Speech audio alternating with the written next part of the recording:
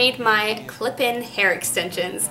Now, these aren't something I would wear every day. These are just for special occasions, for a costume maybe, but they're really fun and you'll notice when I do clip them in, they add a good four to six inches to the bottom of my hair, albeit scraggly. I am gonna take them to a salon and have them cut and shaped and styled into my own hair so that they kind of blend a little bit better.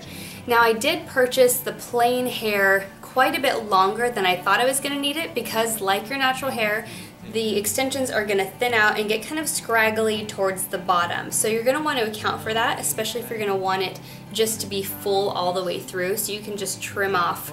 I'm probably going to end up trimming off that much because it's just garbage. The reason I made these myself is because I was shopping online and it seemed like I could get twice as much hair for the same price if I just bought the regular plain not color treated, not bleached, no clips plain old weft of hair that you would purchase to do your sewn in hair extensions. Also, if I were to purchase them pre-dyed, there's a chance that the color wasn't going to be quite right and I was just going to have to dye them anyway. Now, these are natural hair so that you can style them, bleach them, color match them to your hair. I would not recommend synthetic hair. You can't um, treat it with heat tools, you can't style it the same way. It's just I bought the hair myself and I'll show you briefly but I'm not going to go into detail. I did bleach it and then I hennaed it to match my natural hair and then I deep conditioned it after that. So it is quite a bit of a process, but in the process I ended up saving roughly $175 if I were to purchase the same amount of hair for pre-made, pre-dyed, color-treated hair extensions. So I saved quite a bit of money and it was kind of a fun project. Here are all the supplies I'm starting with. I have my 26 inch bundle of Virgin Remy hair, it's black. I also have aluminum foil, a glass container, my bleach and developer, and my hair coloring brush. Start by mixing your bleach and developer together. If you're inexperienced at bleaching hair, make sure you give yourself more than I did so that you're not going to run out halfway through. Mix everything together thoroughly, don't leave any clumps because that will impede the developing process. Next, lay out your hair two layers deep over your aluminum foil, and this is going to help you bleach everything really quickly at the same time. You need to work as quickly as possible, otherwise, parts of your hair will bleach too much, and parts of them won't bleach enough. So I started from the tips of my hair and worked my way towards the roots so that it would match my natural hair, which is lighter at the ends and darker at the roots and then I worked my way through everything with the brush thoroughly and then with my fingers to make sure that all of the strands were completely saturated. If not everything is saturated with the bleach, you're going to have sections that are patchy and don't bleach at all. So make sure you really get in there and coat everything as thoroughly as possible. Check it, double check it, and then keep an eye on it to make sure it doesn't lighten too much or fry the natural hair extensions. After you've bleached the hair, you'll want to deep condition the hair and then let it sit for a day or two to kind of rest and recuperate. Then you can dye your hair using whichever process you prefer. I just hennaed my hair the same way I hennaed the hair that's on my head. Wash, dry, and brush the hair, and you'll end up with something like this. You'll need scissors, also your weave thread. This is made for actual sew in weave. You'll need a needle with an eye that's large enough to fit your thread to sew it on, and of course, your clips. I got a pack of 20 of these for $3 on eBay. Next, you'll need to measure your different tracks. The first one I'm doing is going to be directly between my ears, and it's going to run over the back of my head and start and end an inch behind each of my ears. Then I'm going to double that over so that it will be twice as thick. Only do this if you have thick hair. If it's too thin, it will show through. Then cut that off of the rest of the bundle make a loop at the opposite end, and then cut through that loop so that it's not going to leave a big bulge in your hair that will be really obvious when you clip it in. And next, you're ready to thread your needle. So you'll want to thread your needle and then position the needle in the middle of your thread, then grab the ends of the thread and tie them to each other in a knot. This is going to double up your thread and make it twice as strong. Now you're ready to start sewing the wefts together. Of course, you've got all of your wefts doubled up.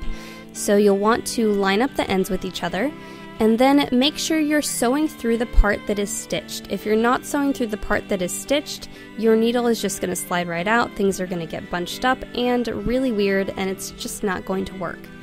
So you'll sew through both pieces, go over the top, and then back under the bottom, over the top, and keep sewing in a loop so everything lays flat together. Then once you've sewn through the entire length, as you're doing your last stitch on the end, don't pull the loop completely tight. Leave a little bit of a space and then sew your needle back through that same loop. Then you'll want to do a second stitch over the exact same spot. Again, leave the loop a little bit open and then sew your needle back through that loop.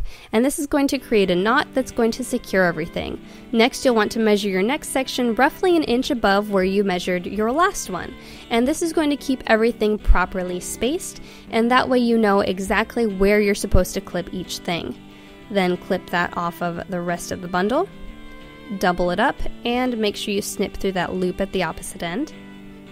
Then you'll just want to repeat the exact same process with each of your pieces, stitching them together so that they're doubled up.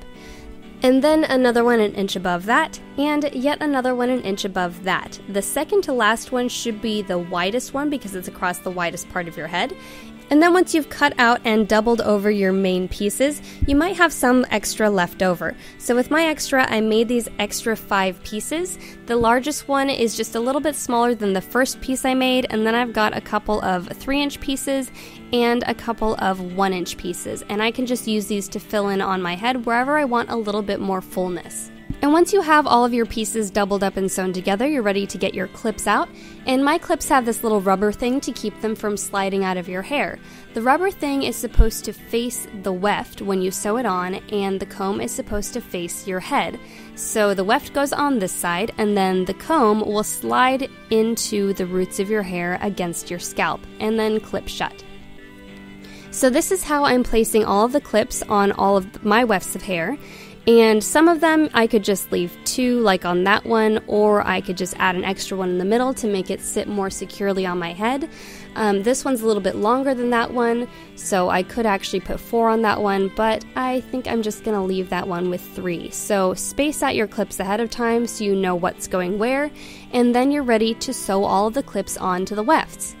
And you'll see that your clips have several holes all over them. I'm not going to use the ones on the side, I'm just going to use the ones on the top. And I'm going to sew these on exactly the same way I sewed the wefts together. So I'm going to sew through the stitched part and then through the holes. And I'm going to sew through each hole at least twice, maybe three times. That way everything's going to hold securely. And then I'll finish it off with the exact same type of knot that I finished off with when I sewed the wefts to themselves. And this is what the finished weft looks like with the clips on it.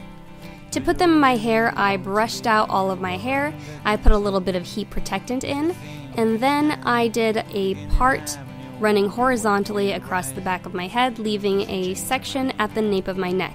I put in my heat protectant and then hairspray on the roots. I backcomb the roots to give the clips a little something extra to hang on to. And then I put the track in, lining it up with the part in my hair. Then I closed the clips and put heat protectant over all of the hair, including the extensions.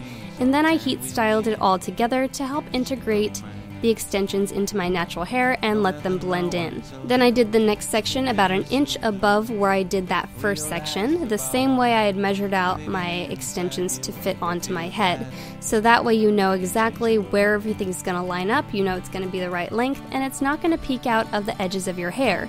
So I repeated this process, doing everything in one inch sections, working from the nape of my neck up to the crown of my head.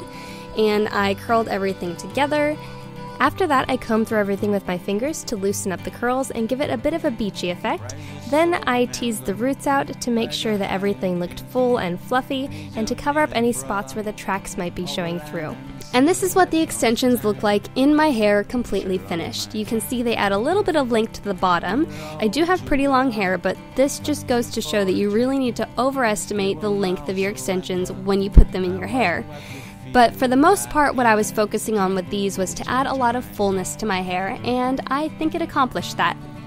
Thanks for watching. If you enjoyed this video, remember to like, share, and subscribe.